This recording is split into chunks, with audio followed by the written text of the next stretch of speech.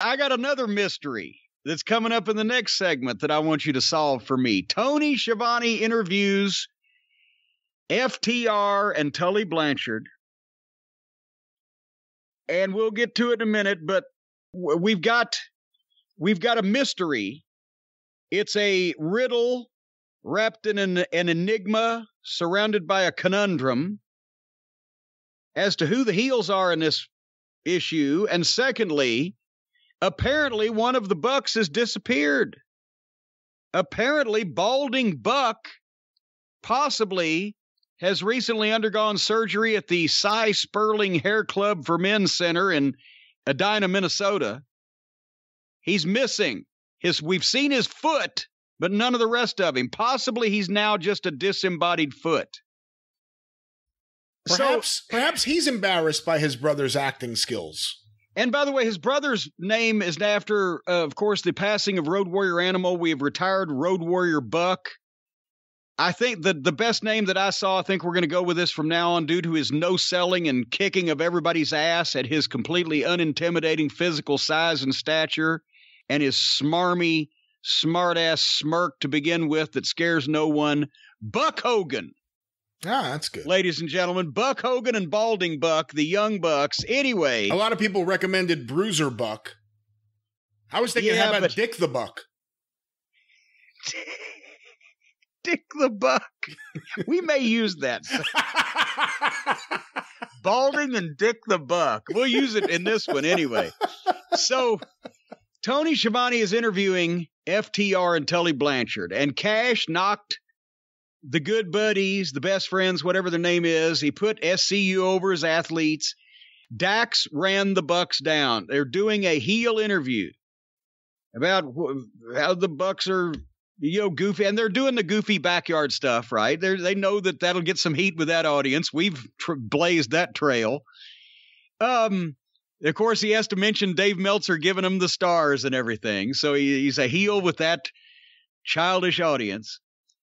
Uh, but anyway, suddenly, as they're doing a heel interview, the heel team, the champions, with the heel manager, suddenly two feet appear in the screen and super kick Tony Schiavone. Poor Tony Schiavone, who's, I believe, 62 years old and uh, never a trained professional as far as taking bumps. And so it looked like shit and it was phony to begin with. But you see then Dick the Buck.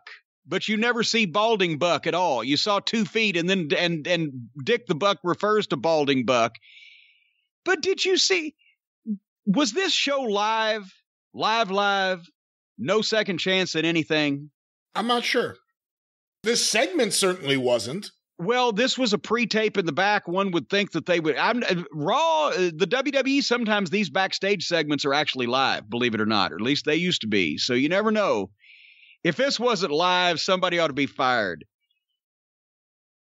It looked so ridiculous when Tony Schiavone out of nowhere, while uh, FTR is talking to him, gets super kicked by two people allegedly that we didn't know were there, and FTR Tully didn't even register it. Nobody. It was just they just looked like oh, like fucking blase cell.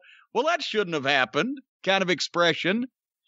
And then this fucking douchebag, Dick the Buck, says his heelish shit and then, come on, Nick and the unseen brother, and they walk away, and FTR's just standing there, and, and nobody's even looking at Tony Schiavone, who is allegedly still laying on the ground writhing in pain. This was this was past phony. I, I wrote horrible. Why would you do this? Question mark. Heel team with heel manager cutting heel promo, and then here come the baby faces who have switched into whiny heels to sell this program blindside the announcer to uh, allegedly build the match or the issue. And then JR and Taz and Excrement had to react to this. I said, well, they shouldn't have done that. Well, what would happen if on a, an NFL game, if one of the players just suddenly didn't like who one of the uh, uh on the field announcers was talking to and just ran over and whacked that fucking announcer over the head with his football helmet. What would the reaction be like? People would be losing their minds. Why then why what's the difference here? Why would why wouldn't the programs if they were going to do such a stupid phony thing as this, then if they why wouldn't the programs shut down, stop down and everybody be uh, clutching their pearls and threatening lawsuits or whatever? At least if you're going to do something, do it. But this is just outlaw bad indie wrestling. And I swear to God, if I'm surprised JR didn't say in the next segment, well, we can't grieve, grieve forever. I guarantee you he said it off the air.